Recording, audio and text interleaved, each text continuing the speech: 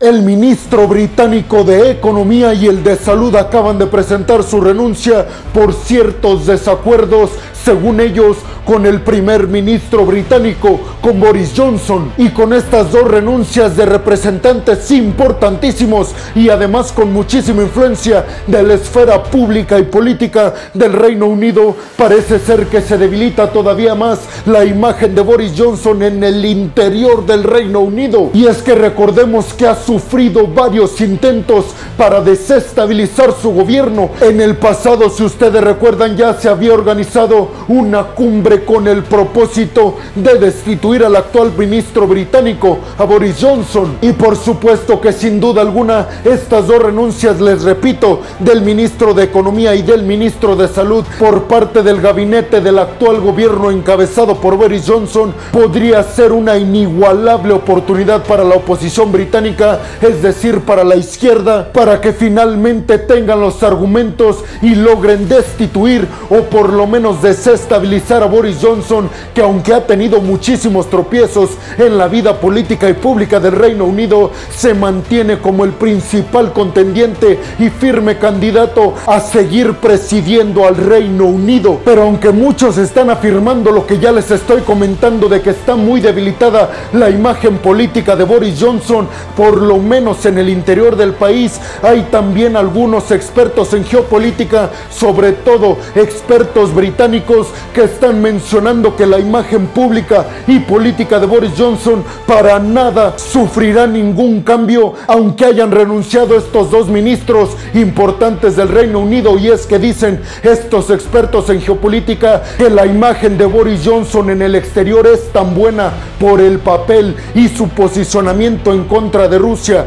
y a favor de Ucrania y digamos este liderato que está tomando el Reino Unido en el bloque de la OTAN, esto le ha ayudado muchísimo para también tener una imagen medianamente buena al interior del Reino Unido. En las cartas de renuncia que presentaron los dos ministros que renunciaron, afirmaron que se retiran por culpa de la no integridad por parte del gobierno de Boris Johnson, haciendo referencia a posibles casos de corrupción dentro del gobierno británico. Pero lo que más llamó la atención es que ambos ministros se dijeron incompetentes para tener limpia su conciencia después de lo que está haciendo el actual ministro británico Boris Johnson. Esto aumenta claramente las posibilidades de que aprovechen este tipo de comentarios la oposición para destituirles, repito, a Boris Johnson. Manifestaron también en esta carta que, repito, presentaron estos ministros que se van del gabinete de Boris Johnson que aunque que aman profundamente al Partido Conservador que encabeza Boris Johnson se catalogan como unos incrédulos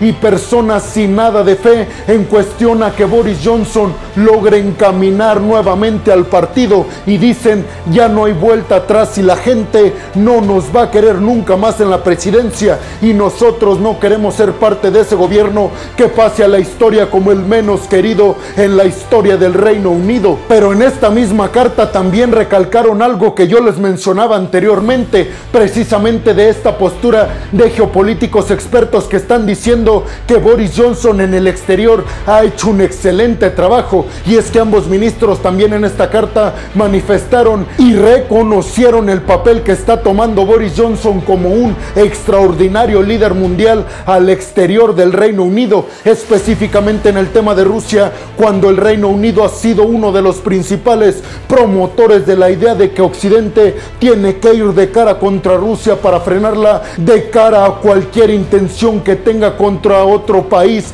europeo, así como lo hizo contra Ucrania. Pero recordemos que Boris Johnson fue uno de los promotores principales, si no es que digamos la mente maestra detrás del Brexit, que finalmente culminó con la salida del Reino Unido del bloque de la Unión Europea y que eso a los británicos sin duda alguna les encantó y por supuesto que no lo olvidan. Por eso Boris Johnson sigue teniendo medianamente una aceptación alta en el Reino Unido. Además ha sido tan bueno el papel que ha llevado a cabo Boris Johnson en la política exterior británica que como yo ya les he dicho, mi hipótesis es que el Reino Unido está resurgiendo como esta potencia mundial y tarde o temprano en algunos años le va a estar compitiendo el puesto número uno a Estados Unidos como la potencia mundial y por supuesto a China como la segunda potencia comercial y económica a niveles mundiales. Pero ustedes qué opinan de esta renuncia de los dos ministros tal vez más importantes del gobierno de Boris Johnson? ¿Creen que se venga abajo la figura de Boris Johnson en el interior del Reino Unido o creen como yo que gracias a toda esta política exterior tan buena que ha llevado a cabo el Reino Unido en toda esta situación de Rusia le va a alcanzar a Boris Johnson para reafirmar su posicionamiento en el Reino Unido? Déjame tu opinión en la zona de los comentarios. Bienvenidos a un nuevo video de geopolítica en el cual como ustedes ya saben les voy a platicar lo más importante que ha acontecido a niveles diplomáticos y geopolíticos alrededor de todo el mundo. Y vámonos rápidamente con la segunda noticia del día de hoy es que Macron, el presidente francés, se reúne con Lapid, que es el nuevo primer ministro de Israel, del cual ya hablamos hace apenas algunos videos, pues se reunieron justamente con el objetivo de que este escalamiento en la confrontación entre Israel e Irán no avance a una confrontación mucho más directa y mucho más fuerte que escale a niveles internacionales y que arrastre con ello a los socios de Israel, a la Unión Europea y Estados Unidos, sobre todo porque recordemos el nuevo pacto nuclear entre Israel y Estados Unidos, dicen, está muy próximo a concretarse, en donde precisamente la Unión Europea con Macron y Olaf Scholz a la cabeza están intermediando entre Estados Unidos e Irán. Y es que les recuerdo la noticia que les di hace apenas unos videos, que tomó apenas el día viernes posesión Lapid como el nuevo primer ministro de Israel, inmediatamente amenazó al gobierno de Irán diciéndoles que Israel iba a tomar cartas en el asunto de manera inmediata si acaso Irán levantaba una sola arma. Pues Macron inmediatamente se dio cuenta de esto y está tratando de abogar por la paz en toda esta región del Golfo y del Medio Oriente. Y esto claramente porque ya les comenté, no quiere la Unión Europea y Estados Unidos que Israel haga que se caigan los avances en el pacto nuclear con Estados Unidos e Irán. Además, Macron le recordó a Lapid, el nuevo primer ministro de Israel en esta reunión, que el nuevo pacto nuclear que se está cocinando entre Estados Unidos e Irán es más que positivo y le hizo un llamamiento para que baje las tensiones en esta zona porque dijo, cuando se logre tener un acuerdo con Irán para este nuevo pacto nuclear, todos y cada uno de los países en el mundo estaremos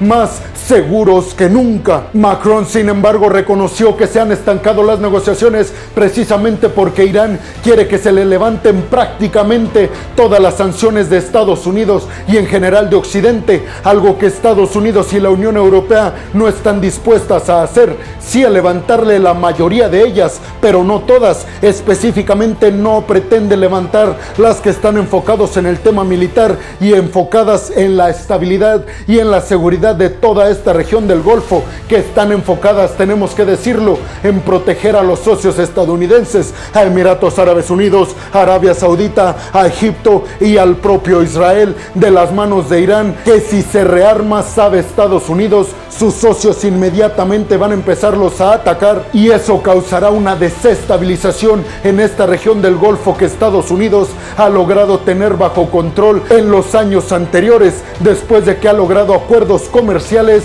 entre estos países de diferente religión, que sabemos lo difícil que es eso, pues Estados Unidos ha logrado que tengan por lo menos acuerdos comerciales entre estas naciones, un avance histórico donde Estados Unidos ha sido el principal promotor para la paz en esta región, si ustedes quieren, para sacar provecho pero los acuerdos comerciales ahí están. El nuevo ministro de Israel subrayó después en una conferencia de prensa cuando terminó su reunión con Macron, el presidente francés, que Israel de todas maneras se van a mantener muy alerta en contra de Irán porque dicen desde Israel no confían para nada en que Irán todavía no tiene una bomba nuclear. Además lo dijo tácita y claramente el nuevo primer ministro de Israel porque dijo teniendo la aprobación y la bendición desde Washington, ellos pueden hacer lo que quieran en esta zona, algo que podríamos debatir, pero sin lugar a dudas está más hacia la verdad que hacia la mentira. Pero tú qué piensas?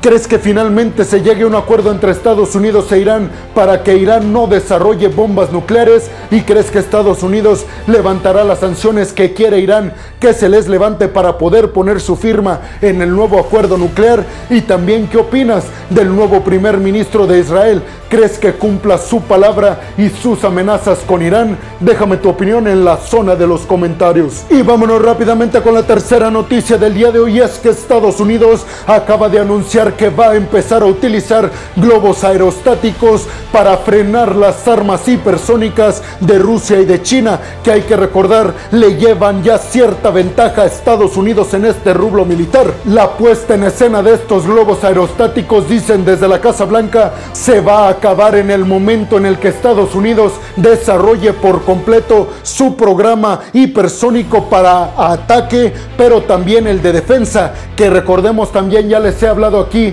sobre los programas que tiene el Pentágono para el desarrollo de sistema de defensa contra armas hipersónicas, obviamente enfocados en defenderse de China. Por otro lado, hay que recordar que Vladimir Putin en el Foro Económico Internacional que se llevó a cabo en la ciudad de San Petersburgo, en Rusia,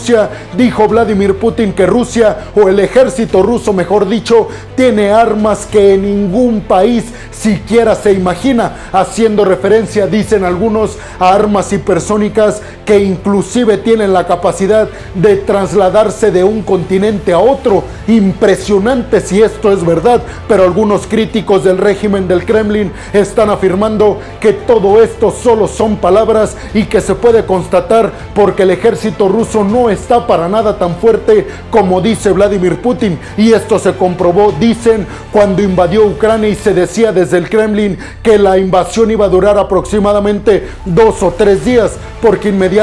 iban a tomar Ucrania y ya van casi cuatro meses de invasión y el ejército ucraniano sigue y sigue resistiendo cuando no se compara para nada en ningún rublo al ejército ruso. Pero ustedes qué piensan, ¿a quién le creen? A Vladimir Putin que dice que Rusia tiene armas que ningún país se imagina, inclusive Estados Unidos, o le creen a algunos especialistas que dicen que únicamente está alardeando y que en realidad el ejército ruso está muy pero que muy mermado y sobre todo qué opinan del programa de desarrollo de armas hipersónicas y de defensa para esas armas hipersónicas que ya tiene China y Rusia por parte de Estados Unidos. Déjame tu opinión en la zona de los comentarios. Y vámonos rápidamente con la cuarta noticia del día de hoy que tiene que ver con Lituania, este pequeño país limítrofe a Rusia, pero también miembro del bloque de la OTAN que le está causando un montón de dolores de cabeza al Kremlin, pues ahora ha dicho que va a apoyar a Ucrania con un envío de 10 millones de dólares enfocado exclusivamente para la reconstrucción de las ciudades que están siendo destruidas o que ya lo fueron por el ejército ruso durante la invasión del Kremlin en Ucrania. Todos los países occidentales ya están preparando el envío de ayuda humanitaria, militar, pero sobre todo en apoyo económico para la reconstrucción de las principales ciudades ucranianas lastimadas por esta invasión de Rusia en Ucrania y quien lleva la ventaja son aquellos países que se sienten más hostigados por el Kremlin, entre ellos Lituania y Polonia. La primera ministra de Lituania también afirmó que ya está en marcha un programa para aceptar a refugiados ucranianos en su país. Aquellos refugiados ucranianos que busquen hogar ya saben a dónde ir, a Lituania, este país que ha causado un montón de polémica porque recordemos, se ha negado a que pasen las mercancías rusas que vienen desde Leningrado y que tienen que atravesar su país para poder llegar a Rusia. Estas mercancías que llegan por el Báltico y que Rusia ya ha acusado a Lituania de estar ocasionando estragos en la economía rusa única y exclusivamente por esta rusofobia. Pero desde Lituania están diciendo que ellos están apegando única y exclusivamente a las sanciones occidentales. Además, la primera ministra de Lituania dijo que no le importa en lo más mínimo cualquier amenaza de Putin y dijo no le importa porque pertenece al mayor grupo militar, refiriéndose a la OTAN y dijo, nosotros podríamos acabar con Rusia en prácticamente algunos minutos, porque si bien Rusia tiene un poderío militar considerable, no se compara para nada al poderío que tenemos en Occidente. Pero tú qué piensas? ¿Crees que Lituania tenga esta posición como caballo de Troya para Rusia? Y sobre todo, ¿qué piensas que pasará en esta situación entre Lituania y Rusia? ¿Crees que Rusia logre atacar a Lituania arriesgándose a un enfrentamiento directo con la OTAN? Y sobre todo,